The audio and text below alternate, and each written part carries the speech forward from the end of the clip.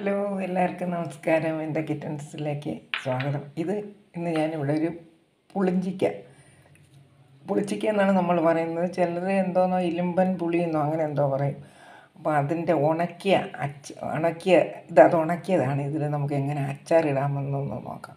അപ്പം നമുക്ക് ഇത് ഞാൻ കുറച്ച് ദിവസമായി ഉണക്കി വെച്ചിട്ട് എനിക്കൊന്നൊരു അഞ്ചാറ് മാസം കഴിഞ്ഞ് ഉണക്കി വെച്ചിട്ട്. അപ്പം ഇപ്പം പുളിച്ചിക്ക ഇഷ്ടം പോലെ ഉണ്ട് കേട്ടോ.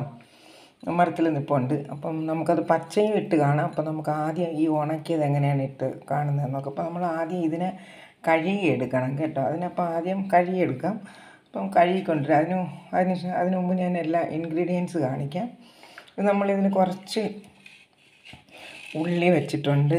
കുറച്ച് വെളുത്തുള്ളി വെച്ചിട്ടുണ്ട്. ഒരു പീസ് ഇഞ്ചിയുണ്ട് അപ്പം നമ്മൾ ആദ്യം അത് ഞാൻ ഇനി പറയാം. ആ ആദ്യം നമുക്ക് ഈ ഈ വെളുത്തുള്ളിയും ഉള്ളിയും കൂടെ ഒന്ന് മിക്സ് ഒന്ന് ചതച്ചെടുത്തിട്ട് ഈ പുളിച്ച് ഈ ഉണങ്ങിയ പുളിച്ചിക്കയിൽ നമ്മൾ പെരട്ടി പെരട്ടി വയ്ക്കണം അപ്പം ഞാനത് ആദ്യം കാണിക്കാമേ. നമ്മൾ നേരത്തെ കാണിച്ച പുളിച്ചിക്ക നമുക്ക് ഇത്രയും വെള്ളത്തിലൊന്ന് കഴുകിയെടുക്കാം നല്ലതുപോലെ. നമ്മൾ ഒരു പ്രാവശ്യം ഒന്ന് കഴുകിയെടുക്കണം. ഇതിൽ കുറേ ഉപ്പൊക്കെ ഉണ്ടല്ലോ. അതുകൊണ്ടല്ല അല്ലാതെ ഒന്ന് കഴുകിയെടുക്കാം. അതുകൊണ്ട് അച്ചാറിടുന്നതിന് ദോഷമൊന്നും വരില്ല. നമുക്കൊന്ന് കഴുകി വൃത്തിയാക്കി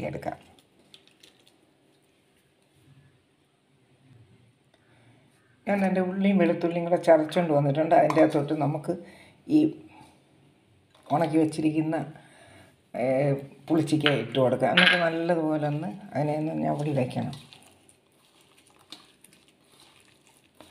ഇതൊരു പത്ത് മിനിറ്റ് ഇവിടെ ഇരിക്കട്ടെ. അതിന് ശേഷം നമുക്ക് ബാക്കി കാര്യങ്ങൾ ചെയ്യാം കേട്ടോ. അപ്പം അതുവരെ നമുക്കൊന്ന് എല്ലാം ഒന്ന് അറേഞ്ച് ചെയ്തുകൊണ്ട് വരാം. അപ്പോൾ ഇതിവിടെ ഇരിക്കട്ടെ. ഇനി നമുക്ക് നേരെ ഇതെങ്ങനെയാണ് ചെയ്യുന്നത് പ്രിപ്പയർ ചെയ്യുന്നതെന്ന് നോക്കാം. അതിലേക്ക് ഞാനൊരു ഫ്രൈ പാൻ എടുത്ത് വെച്ചിട്ടുണ്ട്.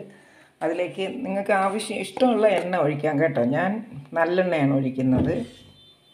വെളിച്ചെണ്ണയോ ഏതെണ്ണ വേണമെങ്കിലും ഒഴിക്കാം. പക്ഷേ ഞാൻ കുറച്ച് നല്ലെണ്ണയാണ് ഒഴിക്കുന്നത്. അപ്പോൾ നമ്മൾ കുറച്ച് എണ്ണ കൂടുതൽ ഒഴിച്ചു കൊടുക്കണം കേട്ടോ.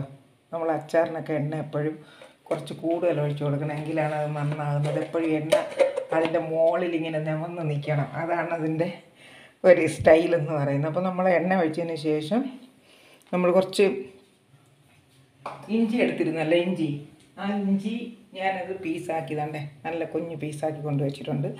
ആദ്യം നമുക്കിതിലേക്ക് നമ്മൾ കഴുകി വെച്ചിരിക്കുന്ന അല്ല കഴുകി വെച്ചിരിക്കുന്നില്ല നമ്മൾ ആദ്യം ഇതിനകത്ത് വേണ്ടത് എന്തെന്ന് വെച്ചാൽ നമ്മൾ ഇതിനകത്തോട്ട് കടുവറുക്കുന്നെങ്കിൽ കടുവറുക്കാൻ ഇഷ്ടമുള്ളവർക്ക് അല്ലാത്തവർക്ക് കടുവറുക്കേണ്ട കാര്യമില്ല.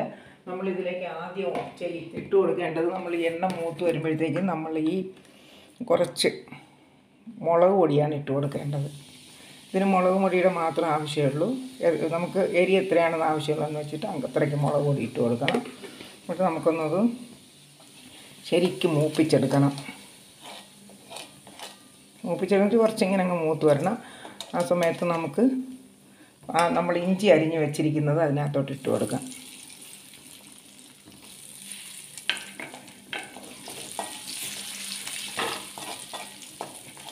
ഇതിനകത്ത് തന്നെ നമുക്ക് അത്യാവശ്യം ഉപ്പിന്റെ ആവശ്യമില്ല. നമ്മൾ ഉപ്പിട്ടാണ് ഉണക്കിയിരിക്കുന്നത് പുളിച്ചിക്ക. അതുകൊണ്ട് ഉപ്പിന്റെ ആവശ്യമില്ല.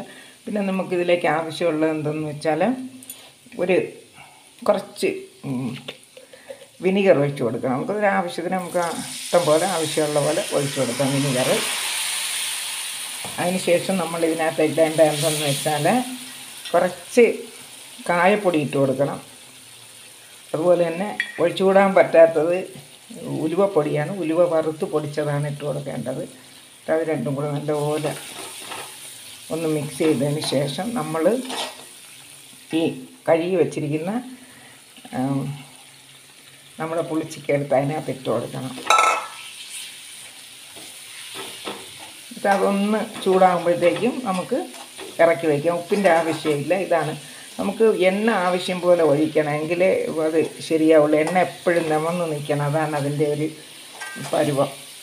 എങ്കിലേ എണ്ണ എപ്പോഴും മുകളിൽ നിന്നാലേ പൂക്കാതിരിക്കുള്ളൂ ഇല്ലെങ്കിൽ ഇതിനൊക്കെ പൂക്കുന്ന ഒരു പ്രവണതയുണ്ട്. അപ്പം വളരെ എളുപ്പത്തിൽ നമുക്ക് പുളിച്ചിക്ക അച്ചാറുണ്ടാക്കാം. നമുക്കിനി പച്ച പുളിച്ചിക്ക ഇവിടെ നിപ്പുണ്ട്. അത് ഞാൻ പറിച്ച് അച്ചാറിടുന്നത്. നമുക്ക് വെള്ള അച്ചാറിടുന്നത് കാണാം അതായിരിക്കും കുറച്ചും കൂടെ നല്ലതെന്ന് തോന്നുന്നു. അപ്പോൾ എല്ലാവർക്കും മനസ്സിലായെന്ന് വിചാരിക്കുന്നു. എനിക്ക് വായിക്കൂടെ വെള്ളം വരുന്നു ഇതെല്ലാവർക്കും മനസ്സിലായെങ്കിൽ ഇതൊരു ഉടൻ തന്നെ വേണമെങ്കിൽ എടുക്കാം. ഇല്ലെങ്കിൽ രണ്ട് ദിവസം വെച്ചിരുന്ന് എടുക്കുന്നതാണ് നല്ലത്. ഇതിനകത്ത് വിനീഗർ ഒഴിക്കണം ഉരുമപ്പൊടി ഇടണം കായപ്പൊടി ഇടണം പിന്നെ ഇഞ്ചി മറ്റേ വെളുത്തുള്ളിയും ഉള്ളിയും കൂടെ ചതച്ച് നല്ലപോലെ മിക്സ് ആകണ്ട. അങ്ങനെ ആക്കിയിട്ട് നമ്മൾ കഴുകി വെച്ചിരിക്കുന്ന നമ്മുടെ കുളിച്ചിക്ക ഉണക്കിയതിലോട്ട് ഇടണം. ഇത്രയേ ഉള്ളൂ അപ്പോൾ ഇത് തീർന്നു. ഇതാണ് ഇതിന്റെ അച്ചാറിന്റെ പണി. എളുപ്പത്തിൽ തീർന്നില്ലേ? ഇതൊക്കെ റെഡിമെയ്ഡ് പോലെ നമ്മളിപ്പം ഉണക്കി വെച്ചിരുന്നതാണ്. ഞാൻ കഴിഞ്ഞ ആറ് മാസത്തിന് മുമ്പ് എടുത്ത് ഉണക്കി വെച്ചിരുന്നതാണ്. അപ്പം ഇപ്പോഴത്തേക്ക് അത് റെഡിയായി. ഇപ്പം വീണ്ടും പുളിച്ചിക്ക എപ്പോഴും എപ്പോഴും ഉണ്ടായി വരുമല്ലോ. നമ്മൾ വെള്ളം ഒഴിച്ച് കൊടുത്താൽ എല്ലാ സീസണിലും ഉണ്ടാവും. അപ്പം നമുക്കിതിന് തണുത്ത് കഴിയുമ്പോൾ നമുക്കിതിനെ കുപ്പിയിലാക്കി സൂക്ഷിക്കാം. പിന്നെ കഴിക്കുകയും ചെയ്യാം. ഞാനൊന്ന് ടേസ്റ്റ് ചെയ്ത് നോക്കട്ടെ. നല്ല ടേസ്റ്റ് ഉണ്ട്. ബെസ്റ്റ് ടേസ്റ്റ് ഉണ്ട്. നമുക്ക് വീഡിയോ ഇവിടെ അവസാനിപ്പിക്കാം. അടുത്തതിൽ കാണുന്നത് വരെ ബൈ.